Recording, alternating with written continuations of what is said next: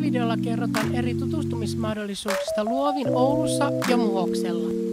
Aluksi haastateltavat kertovat nimensä, lempinimensä, pitävätkö he enemmän koirista vai kissoista ja kuuluuko ananas pizzaan.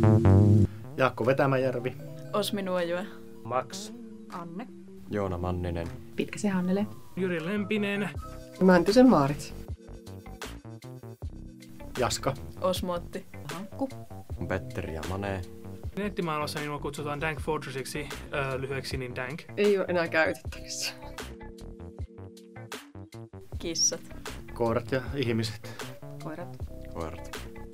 Kissat. Kissat. Äh, meillä oli kummakin niin e- ennen, niin, mutta nyt ei ole. Koira-ihminen. Jos siitä tykkää. Kaikki syyä, mitä eteen tuu. Ei. Satunnaisesti. Ei.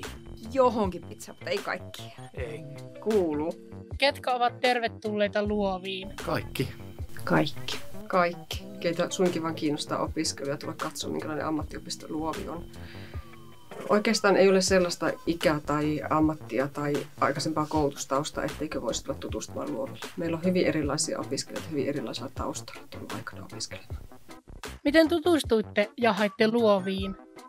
Työn puolesta itse. Niihin aikoihin, kun mä olin lukiossa ja mulla oli hankaluuksia ja sitten vähän puhuttiin siitä, että onko se sitten mun paikka loppujen lopuksi, niin on tämmöinen luovi, kerrottiin tosiaan koululta ja perhetuttujen ja muiden kautta. Ja Minulla tuli tämmöinen sijaisuuskutsu ja lähdin kokkipuolelle ohjaaja hommille. Käytiin peruskoulun kanssa tutustumassa joskus. Minulle ehdotettiin sitä vaihtoehtoa ja menin sitten tutustumaan kahdella eri koulutuskokeilujaksolla luoviin.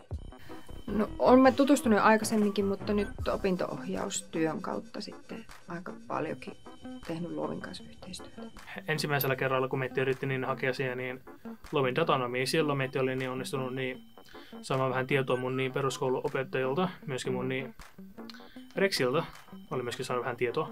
Ja meitä oli myöskin niin käynyt tuolla Valmallakin niin koulutuskokeilussa. Olin aikaisemmin semmoisessa työpaikassa, missä ohjasin nuoria luoville opiskelemaan. Eli olin aikaisemminkin opo ja sitten huomasin, että tämmöinen koulu tukee paremmin ehkä joitakin niitä silloisia opiskelijoita, ohjasin. porukat otti yhteyttä ja tuli sitten aikaa keskusteluun luovelta semmoisen opinto-ohjaajan tyylisen kanssa ja puhuttiin siinä kaikenlaista ja sovittiin sitten mulle koulutuskokeilusta.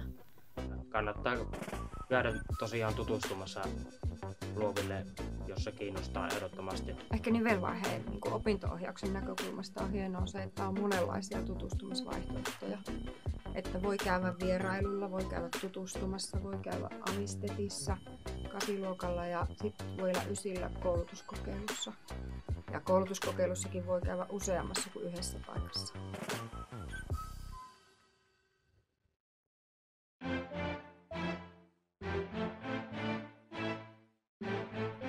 Ammattiopisto Luovissa voit opiskella monia eri tutkintoja. Voit opiskella ja hankkia osaamista sinulle sopivilla tavoilla. Opiskelet yksilöllisesti ja käytännönläheisesti. Voit hankkia osaamista myös aidoissa työtehtävissä työpaikoilla ja luovin omissa oppimisympäristöissä. Esimerkiksi pikkuputiikissa, datanurkassa, keittiöissä ja ravintoloissa, leipomossa, logistiikan terminaaleissa ja muissa eri tutkintojen oppimisympäristöissä. Luovissa saat tukea ja ohjausta opinnoissasi ja omien tavoitteiden saavuttamisessa. Millaista oli tutustua Luoviin?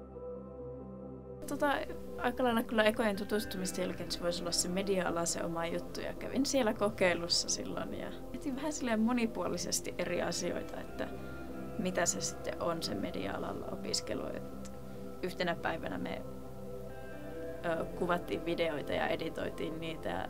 Toisena päivänä otettiin valokuvia ja sitten yhtenä päivänä me muokattiin kuvia ja taidettiin äänitysjuttujakin tehdä yhtenä päivänä.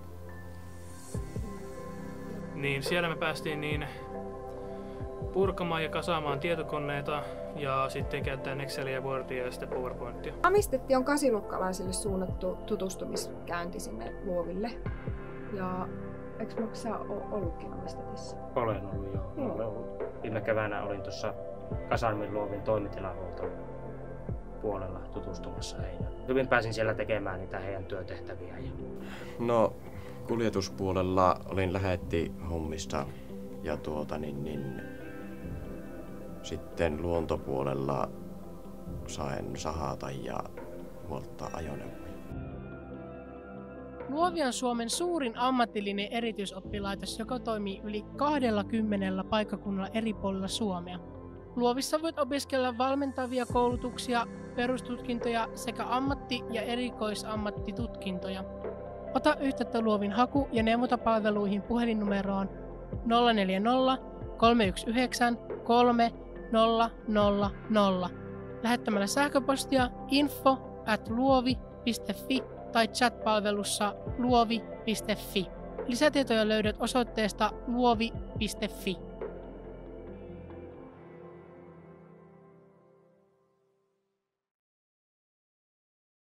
Euroopan sosiaalirahaston rahoittama vetovoimala-hanke tuotettiin ammattiopisto Luovin, oppimis- ja ohjauskeskus Valterin ja Stadin ammatti- ja aikuisopiston yhteishankkeena.